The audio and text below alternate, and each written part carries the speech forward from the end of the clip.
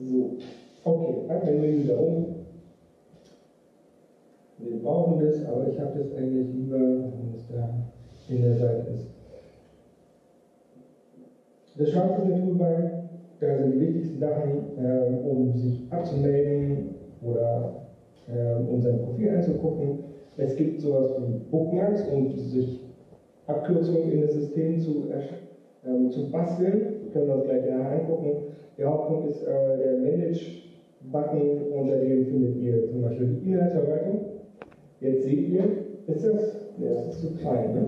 Ist das besser? Ja. Jetzt seht ihr, dieses Demosystem ist nicht ganz leer. Ich habe ja zwei Beiträge reingeschrieben, die sind da sonst nicht drin. Ne? Also Drupal schreibt nichts über Pläne, das habe ich gemacht. Ähm, aber die Inhaltsübersicht ist trotzdem da. Äh, wenn da Content ist, wird er hier aufgelistet. Und jetzt sehen wir es auch, das Title Field auf der Keynote ist tatsächlich jetzt an erster Stelle. Ne? Ist die neueste Version der äh, Patch von, von ist drin. Ähm, unter Strukturen kann ich äh, vor allem Menüs verwalten. Ähm, ich kann auch auf Views zugreifen, das fiel schon mal vorhin.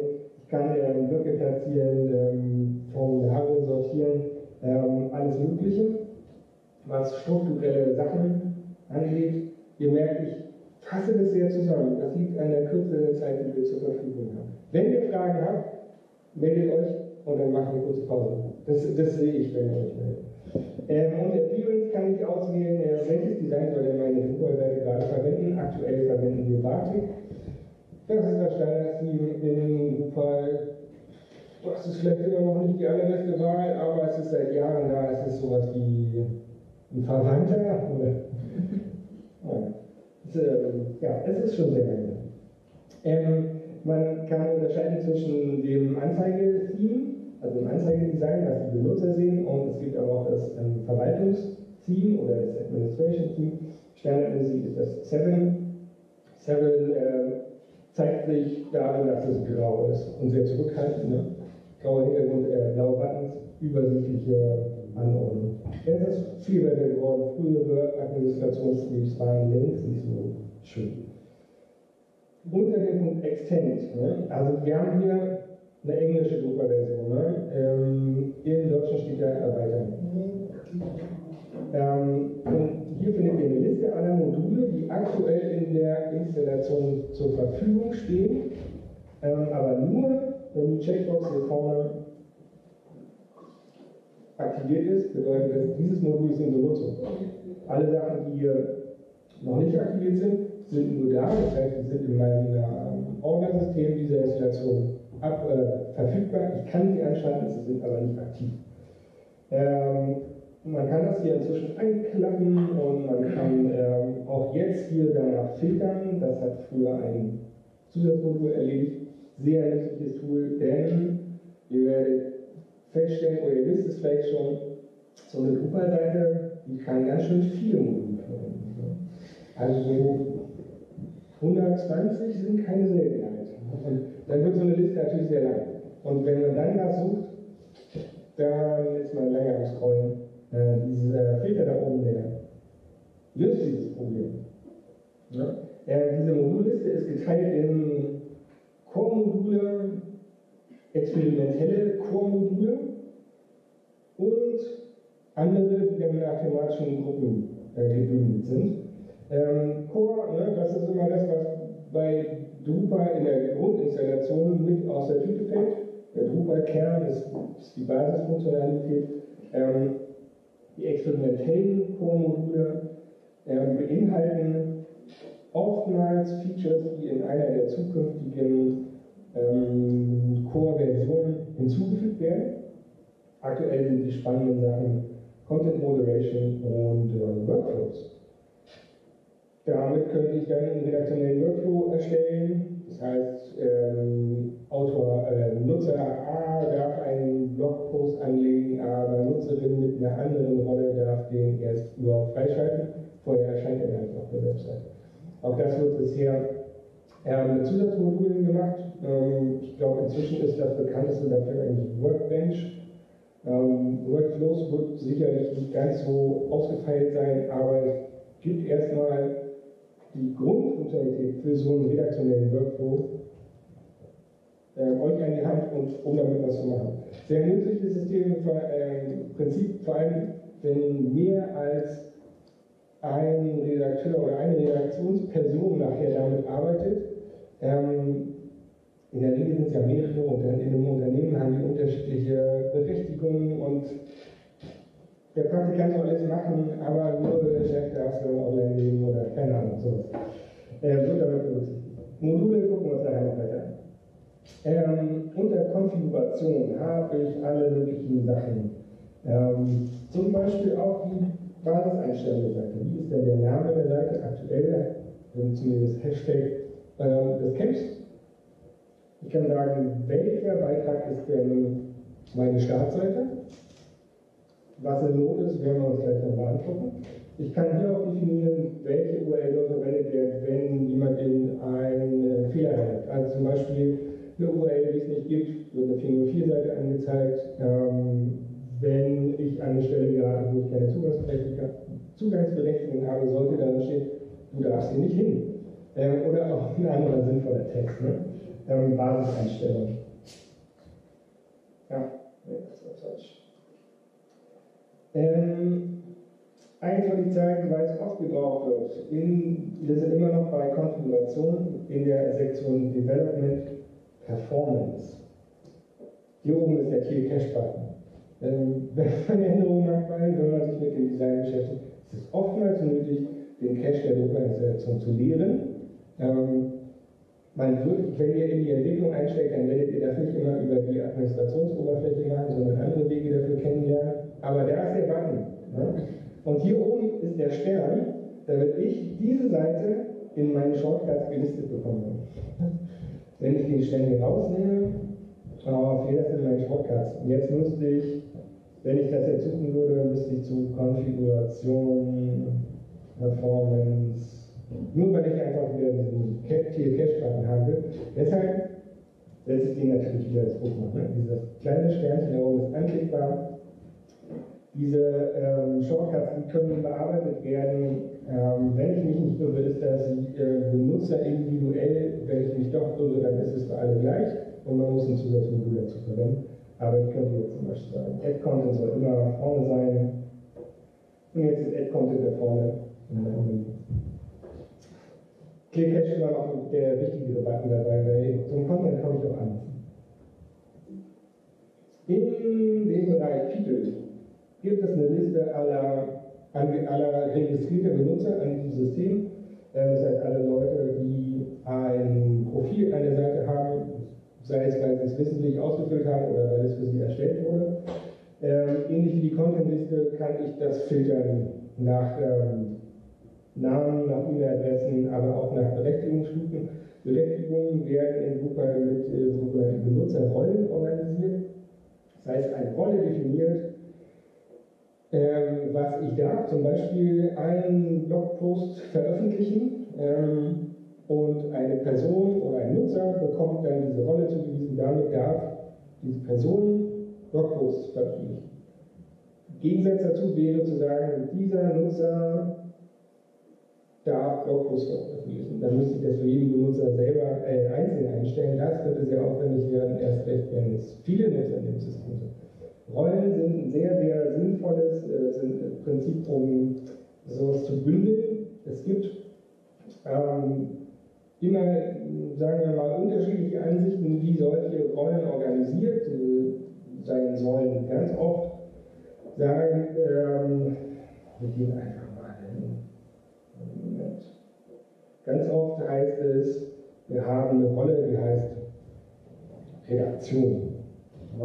Und dann darf Redaktion Blogposts veröffentlichen, Blogposts verändern, Projekte veröffentlichen, alles was in äh, dieser schönen Liste, die auch sehr schön lang sein kann, ähm, alles was da drin steht. Ähm, ich bin inzwischen ein Anhänger davon, dass man sagt, die Rolle heißt Blogposts verwalten. Und wenn das bedeutet, ich habe eine Rolle für Blogposts, ich habe dann eine Rolle für äh, Projekte, ich habe eine Rolle, um Personen zu verwalten. Ja, dann hat halt der einzelne Nutzer viel Rollen nachher und nicht nur eine, aber ich kann es eigentlich feiner abstimmen und laufe nicht in sowas rein oh, dieser Blogredakteur soll aber eigentlich nicht alles behandeln. Wir brauchen eine neue Rolle. Wir haben ähm, Unterredaktion plötzlich als Rolle. Das ist nachher weniger nachvollziehbar als die Sache, das nach tatsächlichen Aufgaben und nicht nach Positionen zu strukturieren. Ähm, aber ich schreibe ab. Ähm, unser Report findet ihr zum Beispiel die letzten Log-Nachrichten. Was ist denn in dem System passiert? Kann man gucken, dass ich heute Morgen daran gearbeitet habe. Ja, das ist wahr. Und auch gestern Abend. Hinzu. Ähm, hier sammeln sich Log-Einträge. Das System überwacht im Prinzip die Arbeit. Ähm, ich kann das auch ausschalten. Auf vielen Live-Seiten ist das ausgeschaltet als Performance mit und die Daten dann vollschreibt. Ähm, aber hier finden sich auch Fehler Wenn ihr in einen PHP-Fehler irgendwann reinlauft, dann würde er in diesen Logs auftauchen. Ne? Könnt nachher die Sachen nach Error filtern. Da haben wir hoffentlich noch kein System ist noch unschuldig, ist noch nichts passiert. Ne? Ähm, ja. Ausschalten benutzt du die Modules oder? Äh, es gibt eine Konfiguration, die Fehler, also den, den Watchdog, der sogenannte Watchdog mhm. zu deaktivieren. Ja. Unter dem Report gibt es auch den sogenannten Status Report. Der ist inzwischen schön übersichtlich. Ähm, und ihr seht hier auf einen Blick, was stimmt nicht mit meiner Webseite oder geht es meiner Seite gut oder nicht. Ne? Äh, wir haben hier aktuell also einen Fehler. Äh, wir können gucken, was ist der Fehler. Ah, eine Konfiguration ist nicht eingerichtet. Ne? Habe ich nicht gemacht, weil, also hier geht es darum, äh, welchem Host kann die Seite vertrauen ist eine lokale Seite, habe ich nicht drum gekümmert. Ja. Ähm, hier auch ein Warning, es gibt 22 Prüfungen, die überhaupt durchgeführt wurden. Und ich kann gucken, welche Version, äh, was für einen Server habe ich, welche PHP-Version, wie sieht denn, ähm, was für eine Datenbankversion ist. Hier unten, was alles geprüft wurde, das gibt nochmal einen Überblick. Wenn hier Fehler auftauchen, dann sind die natürlich wieder oben rot markiert und ich kann dem nachgehen. Ähm, die Analyse kurz. Die Hilfeseite wird oftmals übergangen. Aber hier findet sich sehr, sehr wertvolle Dokumentation. Vor allem Dokumentation zu den Modulen, die euer System verwendet. Vorausgesetzt, die Entwickler oder die Maintainer haben die Dokumentation in dem Modul tatsächlich hinterlegt. Dann könnt ihr sie hier abrufen. Ihr findet hier auch, auch Dokumentation zu den ganzen Core-Modulen, da ist auf jeden Fall Dokumentation vorhanden. Ja. Guckt da ruhig mal rein, wenn ihr mehr wissen wollt, wie funktioniert ein Modul, wenn sich es nicht sofort erschließt. Auf der Beschreibung wieder vielleicht auf der Administrationsseite für zu finden. Ja. Ich habe gehört, dass man auch für Redakteure Hilfefunktionen definieren kann. Das kann man, das stimmt. Ähm, habe ich auch gehört, habe ich tatsächlich noch nie gemacht, aber ja, äh, ich weiß, dass es äh, manche machen, ja. Fragen zu diesem Schnellüberflug über eine Drupal-Installation. Gut. Dann ähm, springen wir zurück und ich ähm, stehe mal kurz auf Bildschirm hier. Das will ich da haben.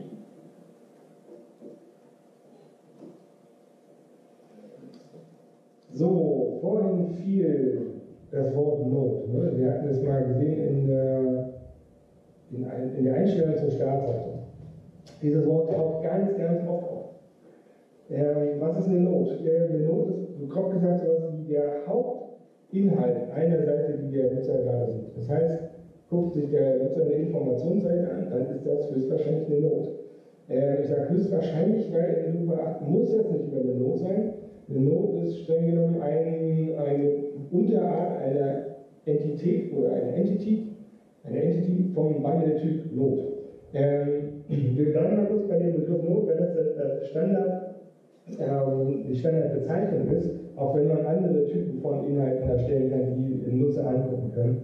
Ähm, eine Not macht vor allem aus, dass neben dem eigentlichen Inhalt, also Text, Bild, Titel eine Zusatzinformationen, die sagen, wann wurde denn diese Not geschrieben und veröffentlicht? Ähm, wer hat denn diesen Beitrag überhaupt angefangen? Also Sachen, um es nachzuvollziehen. Äh, die Not hat immer eine URL. Äh, ich kann sagen, diese Not soll in Listen immer oben sein, dann ist sie sticky. Ähm, und äh, ich kann, eine Not kann mehrere Versionen haben, also Versionen eines Inhalts. Eine erste Fassung einer, eines Beitrags, dann äh, wird er überarbeitet, wird in einer neuen Version gespeichert, äh, wird nochmal überarbeitet in der dritten Version. Ähm, und jetzt merke ich, Mensch, die erste war doch besser. Dann kann ich zu dieser ersten wieder zurückrollen, äh, vorausgesetzt, Revisions ist aktiviert und diese Note hat tatsächlich immer eine neue Version gespeichert. Ne? Ähm, das ist auf jeden Fall eine Besonderheit. Also es gibt Zusatzinformationen, teilweise auch Metainformationen, die das Verwalten von Inhalt einfach erleichtern. Eine Note ähm, ist immer, eine Note wird geprägt durch den sogenannten Inhaltstyp. Ähm, Inhalte haben, haben unterschiedliche Zwecke oder unterschiedliche Anwendungen ähm, oder Anforderungen äh, die kann ich in sogenannten Inhaltstypen darstellen. Ähm, die Core-Version von Drupal bringt die beiden Inhaltstypen Artikel und Basic Page mit. Das ist sowas wie ein Nachrichtenbeitrag oder ein Blogpost oder eine statische Informationsseite. Ähm, ich kann aber ähm, zig andere äh, Inhaltstypen hinzufügen. Ähm, Blogpost, Produkt, äh, Eventbeschreibung, was euch einfällt. Ähm, je nachdem, was ihr für ein Projekt vor euch habt, wird es Sinn machen, einen eigenen Inhaltstypen dafür zu erstellen. Inhaltstypen sind geprägt von Feldern. Ähm, das heißt, um den Inhalt zu bearbeiten, ihr, haben die Redakteure nachher ein Webformular vor sich mit verschiedenen Feldern. Diese Felder haben unterschiedliche Typen. Da kann äh, ein Bildfeld dabei sein, da kann ein Textfeld dabei sein, da kann ähm, was gibt noch? Ein, ein Linkfeld oder eine Referenz zu einem bestehenden Inhalt dabei sein. Ähm, und diese Feldtypen haben unterschiedliche Widgets, das heißt Arten von Formularelementen, wie sie sich dem User darstellen. Das kann ein Autocomplete-Feld sein, um die Eingabe zu erleichtern. Das kann äh, eine Checkbox sein, um ähm, einfach ein Häkchen zu setzen. Ähm, alles mögliche. Das betrifft die Eingabe von Inhalt Ausgegeben wird Inhalt in, über einen sogenannten View-Mode. Ähm, das ist eine Definition, welche Felder in welcher Reihenfolge ausgegeben werden sollen. Ähm, diese View-Modes können natürlich mit diversen Methoden übersteuert werden, müssen sie aber nicht. Ähm, standardmäßig ähm, gibt es in Core die View-Modes, Default, Full Content, ähm, ein Teaser-View-Mode und eine Beschreibung, wie wird er dem RSS-Feed angezeigt. Wir wechseln mal kurz in dieses System rein. Und jetzt nehmen wir zu den Content Types. Wir haben also hier zwei. Ne? Wenn wir sagen äh, Manage Display, dann gelange ich zu der Darstellung, wie wird Inhalt ausgegeben. Darum sind wir schon Default, RSS Teaser. Und im Default-Modus heißt es halt, zuerst kommt das Bild, dann kommt der Body-Text, dann kommen Text, die ich eventuell eingegeben habe, Links und Kommentare. Ich kann hier aber sagen, dieser Inhalt soll weitere View-Modes verwenden und wenn ich nicht das äh, in der Liste hier habe, was ich suche oder was ich meine zu brauchen, dann lege ich einfach einen neuen View-Mode an. Und ich kann diesen View-Mode äh, verwenden, um ihn zum Beispiel in eine Ausgabe von Views zu benutzen, um tabellarische Darstellungen zu machen oder ähm, was anderes. Ja. Neuen Content View gebe ich den Namen und bestimme nachher genauso in diesem View kommt als erstes das Feld A, B und die drei anderen, die ich einfach weg, weil ich die in dem View nicht brauche. Dieser View ist dann über das komplette System benutzbar. Er wird registriert und kann wieder abgerufen werden.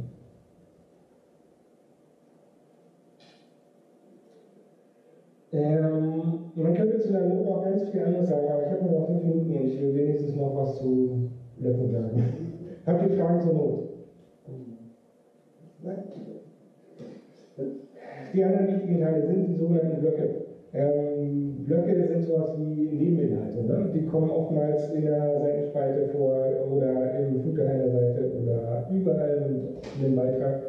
An allen möglichen Stellen. Ähm, früher hat man gesagt, Blöcke sind dumm. Ähm, sind sie jetzt nicht mehr. Ähm, auch Blöcke können ähm, Felder haben und ähm, Blöcke können unterschiedliche Typen haben. Blöcke unterscheiden sich aber weiterhin immer noch darin, dass sie entweder statisch sind, also einfach einen festen Text oder Inhalt anzeigen, oder dass sie dynamisch sind und zum Beispiel äh, in Abhängigkeit von der URL, auf der ich mich gerade befinde, eine Liste von Beiträgen angeben, ausgeben. Wir können also Umgebungsparameter äh, wahrnehmen, sind also nicht mehr so dumm und äh, na gut, das hatten Sie vorher auch schon und können dann in Abhängigkeit davon äh, Sachen ausgeben. Ähm, Blöcke werden in sogenannten Blockregionen platziert. Ähm, die werden wiederum im Theme definiert. Ähm, stellt euch das als eine Art, ich sage mal, Setzkasten. Obwohl ich weiß nicht, ob jemand noch weiß, was ein Setzkasten ist. Wer kennt Setzkästen nicht? Doch noch alle. Ich dachte, die seien ausgestorben. Ähm, es gibt das schöne Feature, dass man sich die Blockregionen anzeigen lassen kann. Hier sehen wir die Blockregionen des Bartik-Teams, was im Core drin ist. Ne? Und wir merken, irgendwie hat es ja fast was von so einem Wireframe, wie ich das vielleicht aus der Planung meiner Webseite kenne. Alles, was hier gelb, gelb ist, ist eine sogenannte Blockregion. Und an dieser Stelle kann ich meinen Block platzieren. Das passiert einfach hier über die Blockverwaltung, also hier Blocklayout für das BAföG-Team. Und jetzt kann ich hier Blöcke hin und her schieben in die unterschiedlichen Regionen. Alle Blöcke, die nicht zuge achso, die sind hier nicht mehr aufgelistet. Früher waren die unten die nicht zugefügten, nicht zugeordneten Blöcke waren unten in der Liste drin, das ist nicht mehr so. Die sind jetzt in dieser Liste drin. Hier alle verfügbaren Blöcke zum Beispiel. Wer ist denn gerade online? Äh, kann ich da platzieren? Ein Schirm Oh, wir brauchen natürlich die Folie. Taxonomie. Wer hat schon Taxonomie benutzt? Noch gar nicht so viele, da kommt ihr nicht dran vorbei. Taxonomie. Gut, die, die es schon gemacht haben, sehr gut.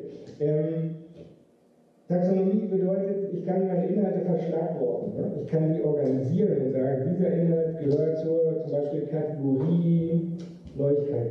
Dieser Inhalt, äh, hier geht es um alles, was mit Architektur zu tun hat. Ähm, Taxonomien werden organisiert in sogenannten Vokabularen. In diesen Vokabularen sind sogenannte Taxonomie-Terms oder Taxonomie-Begriffe, die Sie in Deutsch sprechen. Ich mache mal ein Beispiel. Könnte das Vokabular haben Farbe und darin sind organisiert rot, blau, grün, weg. Was auch immer, habe ich jetzt einen Inhalt, äh, der heißt zum Beispiel T-Shirt. Äh, dieser Inhaltstyp hat ein Feld Farbe. Ich wähle da den Begriff Rot aus. Schon habe ich gesagt, äh, schon habe ich diesen Inhalt damit ähm, kategorisiert und ähm, Drupal bietet so eine schöne Funktion der, äh, der sogenannten Taxonomie-Seiten. Mit einem Klick auf den Begriff Rot bekomme ich eine Liste von allen Beiträgen, die mit diesem Begriff gekennzeichnet wurden. Es wird oft genutzt, um sowas wie Tag-Übersichtsseiten in Blogs zu machen. Oder Produktseiten. Zeigt mir alle Produkte vom Typ. Nee, alle Produkte, die rot sind. Oder die zur äh, Kategorie Sportgeräte gehören.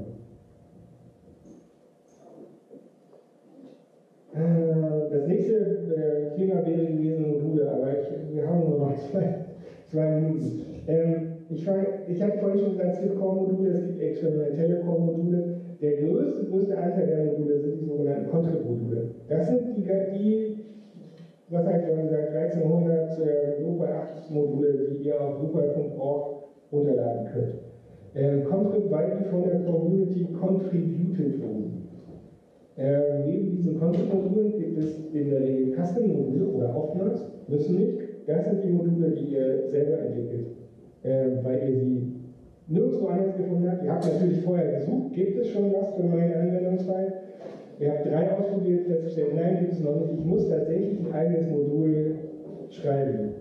Ihr hört meine Skepsis, äh, ich glaube, in vielen Fällen muss man kein eigenes Modul schreiben, aber äh, irgendwann werdet ihr an den Punkt kommen, da muss es sein, dann ist es ein Klassenmodul. Ähm, oftmals stellt man sich die Frage, wie finde ich das richtige Modul?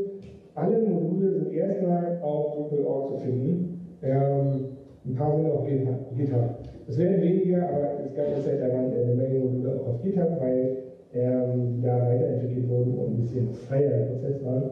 Ähm, oh, ich habe äh, vorhin gelogen. Es sind, ich sehe hier die offizielle Zahl in meinen Kommentaren, sind 3100 Module für Drupal 8, nicht 1300. Ähm, wenn ihr ein Modul sucht, danach. Es klingt total banal, aber an, Drupal-Modul, Slideshow mit Bildunterschrift. Ihr werdet, also am besten macht das auf Englisch, äh, ihr werdet ein Ergebnis bekommen und dieses Ergebnis wird euch höchstwahrscheinlich zu einer Unterseite von Drupal aufführen. Dann müsst ihr, solltet ihr die Beschreibung lesen, wenn ihr dann immer noch der Meinung seid, das ist das richtige Modul, ladet es runter, probiert es aus. Ähm, und macht das nicht auf der Leitseite, sondern immer auf einer Testseite, weil wenn das Modul doch nicht das ist, was ihr haben wollt, dann zerschießt es euch vielleicht alle andere Arbeit. Ähm, jetzt ist die Zeit um. Ich muss hier leider einen Cut machen. Ich hatte befürchtet, dass es zu viel ist. Wer Fragen hat oder das fortsetzen möchte, der ähm, sagt einfach Bescheid. Ähm, wir können gerne heute noch irgendwo uns zusammenfinden, irgendeinen Raum finden. Dann kann ich auch noch was ähm, Spezielles erklären, äh, Fragen beantworten oder Theming angucken, was wir heute gar nicht geschafft haben. Äh, vielen Dank, dass ihr alle da wart und ich wünsche euch ganz viel Spaß mit Drupal und äh, diesem Camp.